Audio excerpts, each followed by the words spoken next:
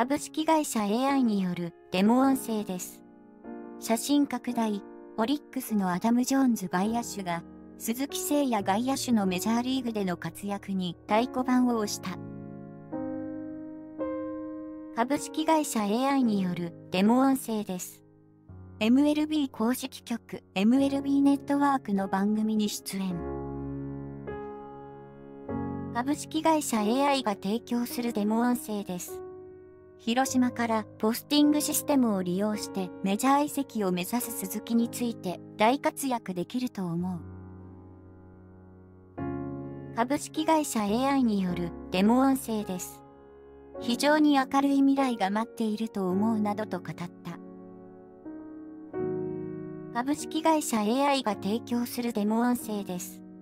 メジャーで1823試合に出場し、1939安打、282本塁打をマークしたほか、外野手としてゴールドグラブ賞を4度受賞しているジョーンズ。株式会社 AI によるデモ音声です。番組内で彼ならメジャーで大活躍できると思うよ。株式会社 AI によるデモ音声です。あらゆる武器が備わっていると思う。株式会社 AI によるデモ音声です。総力もあるし、守備もできる。株式会社 AI によるデモ音声です。肩も良いものを持っている。株式会社 AI が提供するデモ音声です。間違いなくパワーもある。株式会社 AI が提供するデモ音声です。まだ27歳だし、非常に明るい未来が待っていると思うと高く評価した。これはデモ音声です。鈴木は今季打率点317、出塁率点433で2冠を獲得。株式会社 AI が提供するデモ音声です。昨年までゴールデングラブ賞を4度受賞している。これはデモ音声です。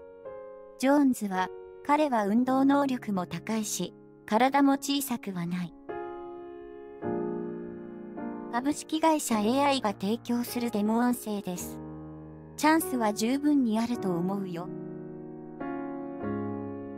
株式会社 AI が提供するデモ音声です。